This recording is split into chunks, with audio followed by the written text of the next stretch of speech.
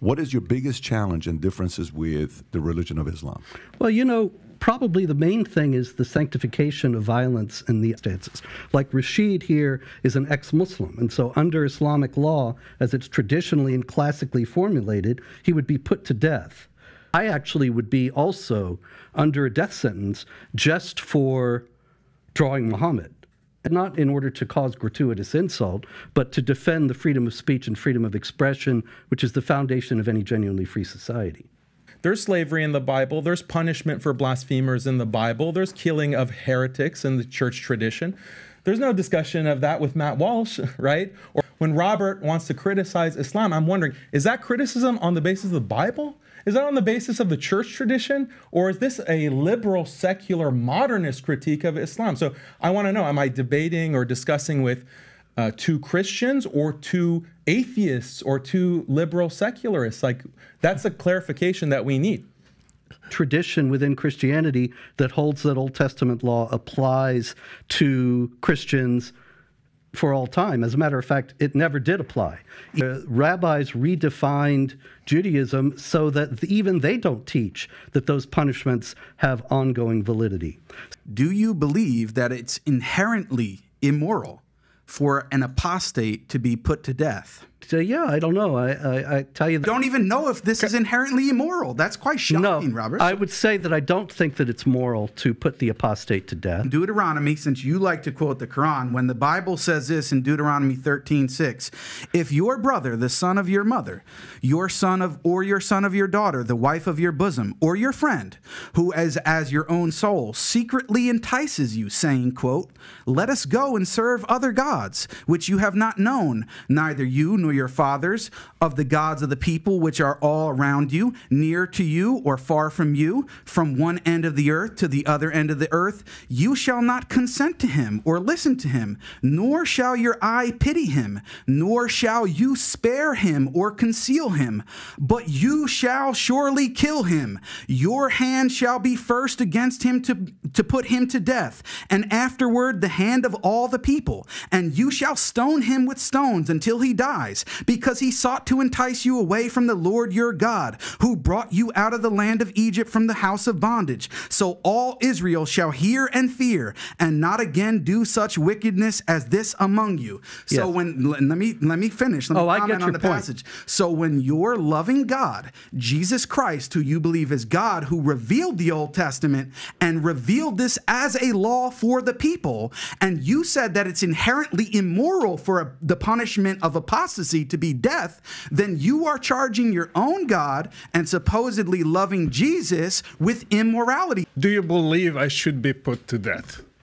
In a correct Islamic state is death. I'm not the one that with executes it. proper due process, with a proper court hearing, just like any nation of laws, an apostate like you would be killed. Yes. Okay, thank you. And according okay, to the let Bible me let as me well. let me. This is a fallacy. And blasphemer, This so- is a fallacy. Robert, too that's- cocky. Like you want to say not a you have it too. It's a fallacy. No. Let us discuss this because uh, Why is it a fallacy? it's a fallacy. It's- it's let me showing- let, it's let showing me your finish. Let me finish. Let me finish. Jesus came and he stopped the Old Testament. He stopped every. He, So there are a lot of inaccuracies in what he's talking about. I want to reframe the issue because he's saying that his life is in danger. But the lives of Muslims are in danger under a secular liberal hegemony. And I know that some of the viewers might not be following what I'm discussing, but look at the war on terror. The idea of the invasions of Iraq and Afghanistan were completely wrong, com- based on false premises, false assumptions, uh, based on the idea that they could bring democracy to the Islamic world. It was never going to happen. I was warning about it. But The Bible, the problem that you have is the same one that you want to talk about, the loving Jesus Christ himself, which we also adore and respect as a prophet, is the same one that you believe is God and revealed the Old Testament. And you can't get out of that. So when your God, Jesus, revealed at that specific time, as I just read the passage, and I can read you plenty more where he says to kill babies in war. Is it okay to target infants in war and kill babies? Is that inherently immoral? You have have two options. If you condemn it as inherently immoral, then the whole Bible's gone. Because if you believe that those Bibles were that those verses in the Bible were revealed by God, then you're saying that God is immoral. And on the other hand, if you say that it's not inherently immoral, but God changed the law at this time, then most of your arguments lose the force that they have against Islam because you can no longer argue that it is inherently immoral to punish an apostate by death and all of the other things that you want to tack on. If you can get rid of the conquest and the violence and the punishment for apostasy, why not just get rid of the prohibition of like cross dressing, the prohibition of homosexuality, the prohibition of drag queens? Why prohibit any of that? Like, Y- y- You're making a very good argument. very simple notation of the Gospels, the Gospel according to Matthew, Mark, Luke, and John. Now, in the Christian faith, Matthew, Mark, Luke, and John were inspired, but that doesn't mean that God was dictating to them and that it was beyond their human understanding. Like when St. Paul, in one of his letters, and he says, I'm glad I didn't come to baptize any of you. Well, actually, I did baptize a couple people, and I forget who else, but I still didn't come to baptize. It's not that God is forgetting who he baptized and who he didn't, but Paul is working from his human understanding, and yet he is speaking the truths, the eternal truths that God wants him to communicate. A lot of the Bible is the record of the evolving understanding of the people of God about precisely a lot of these issues that you're talking about. Why his disciples never they didn't have political power. Uh, w- as soon as Christians the- gained the- political the- power in the Roman the- Empire, they started doing these Okay, things. They didn't don't- have the jurisdiction to do so. Y- they didn't kill. They were the anybody. No, minority. no. They weren't in power. No, no, as soon the- as Christians gained power within the Roman Empire, they they applied the Old Testament laws. 1 Samuel 15, 1 to 3. And Samuel said to Saul, The Lord sent me to anoint you king over his people Israel. Not, oh, I'm just talking at you know, my backside. Now therefore listen to the words of the Lord. Who are they? They're the words of the Lord. They're not the words of Samuel or your neighbor John or whoever else. Thus says the Lord of hosts I have noted what Amalek did to Israel in opposing them on the way when they came out of Egypt. Now go and strike Amalek and devote to destruction all that they have. Do not spare them, but kill both man and woman, child and infant, ox and sheep, camel and donkey. So do not tell me, sir, that God, Jesus, did not order the killing of innocent people. He not only did he do that, he ordered the killing of babies, none of which you will ever find anywhere in the Quran or Sunnah. If you have a problem with God ordering death for apostasy and all these other things that you're bringing up, Robert, when you bring up the issue of Paul, well, he's trying to remember how many people he baptized. Is that analogous to this text where a prophet Samuel is explicitly saying that these are the words of the Lord? Was Samuel lying? Did God actually say this? And if so, is killing babies inherently immoral when at war? Yeah, killing babies is bad, Jake. Yeah. Is it inherently immoral? yeah. So why did your God order Why the did Jesus why did, order it? why did No, your see, God Jesus the problem command? you have order it? the why did your God the problem Jesus you have once again the killing of infants? if history and some people would say actually these things never happened at all they were fables designed to teach that Samuel 15, 1 to 3 was revealed by God, and that God Himself ordered directly, intentionally, for the killing of babies and infants. Let me answer that. Let me answer that. You are judging a war that happened 3,000 years ago by the standards of today. The that the prophet, peace be upon him, uh, explicitly forbade the intentional killing of women and children in the hadith that you didn't mention. So this is dishonest. Exactly. You read one hadith from the book of jihad in Sahih Muslim, but you don't read the other hadith. So that is dishonest on your part, sir. why I left Morocco. I love Morocco. I would love I would love to live among my family, but I left not because of the economy. I was doing well.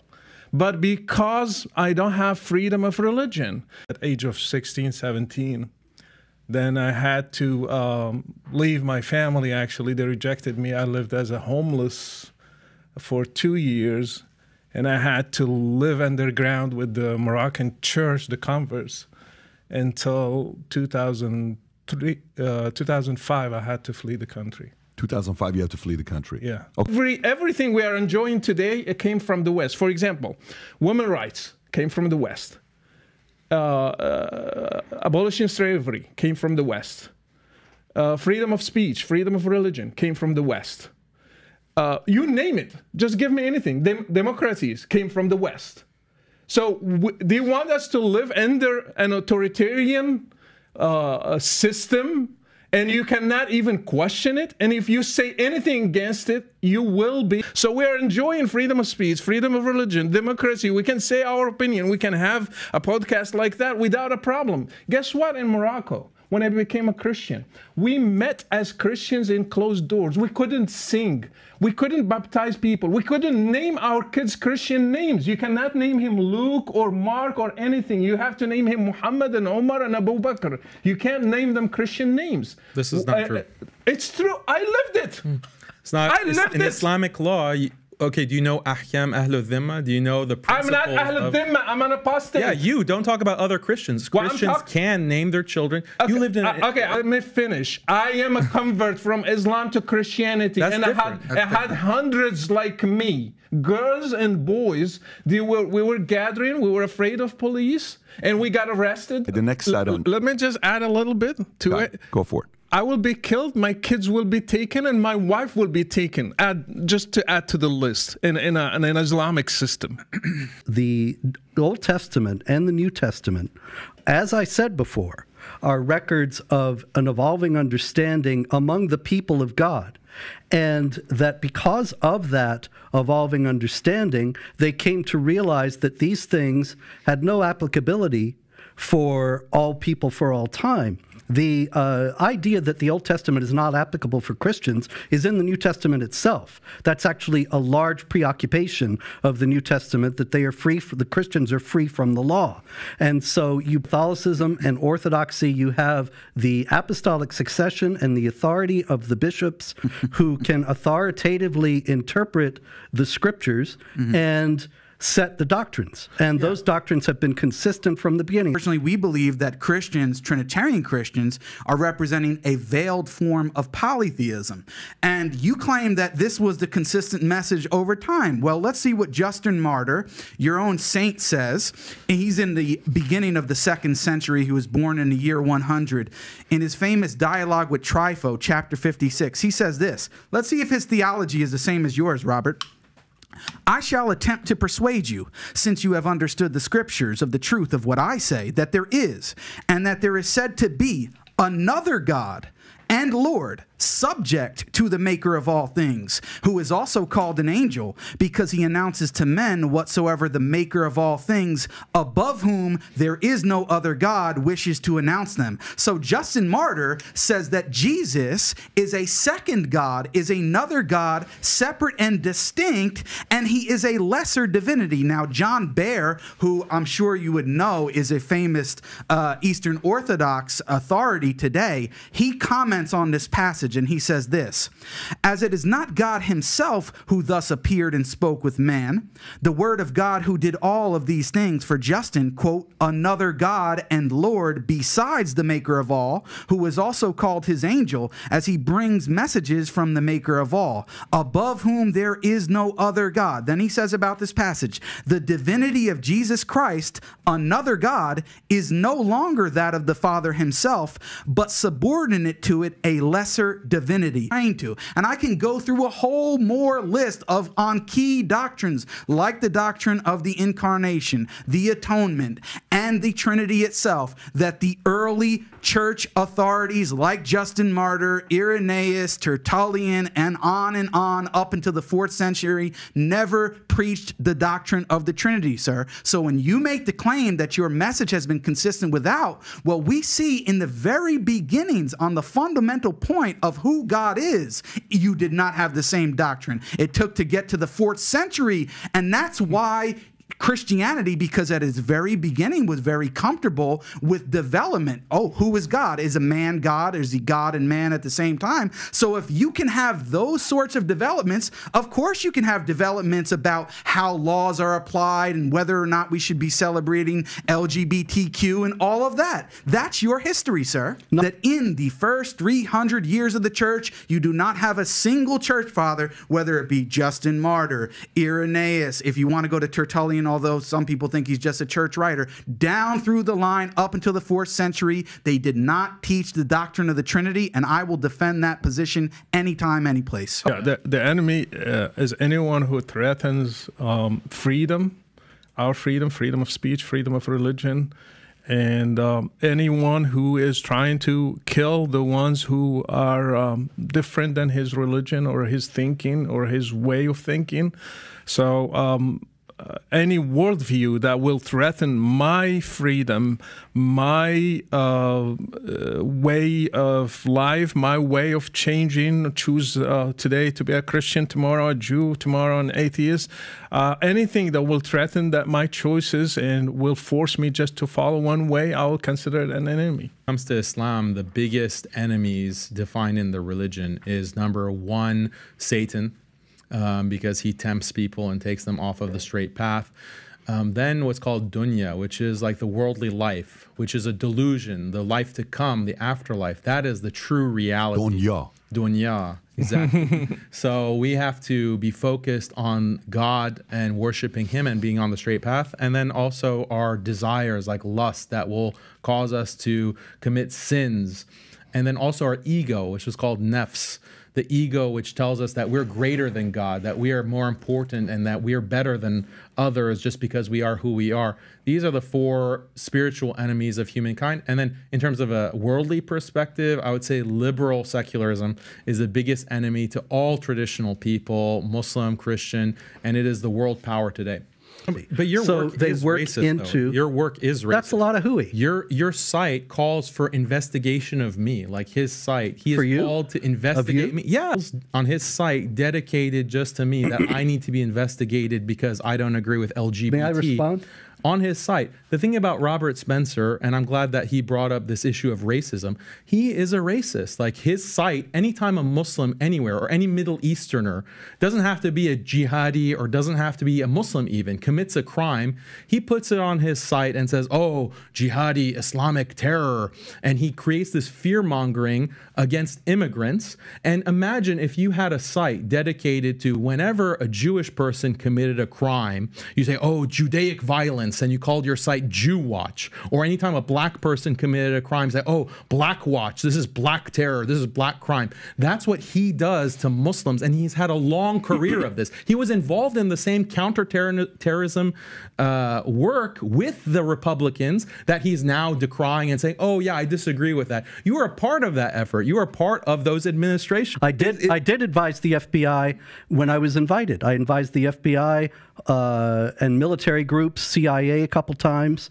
Absolutely, yes, who were trying to change the point of view of the higher ups, and that's why I got in. Yeah. to- I, to- that, that- would no, you accept with a site called Jew Watch? Answer that. Uh, it's not an analogy. That's why you call for I my investigation. I did, I'd like to go to the next phase. but I think you should be. Yeah. yeah, I'd like- you agree. I'd there you go. I'd like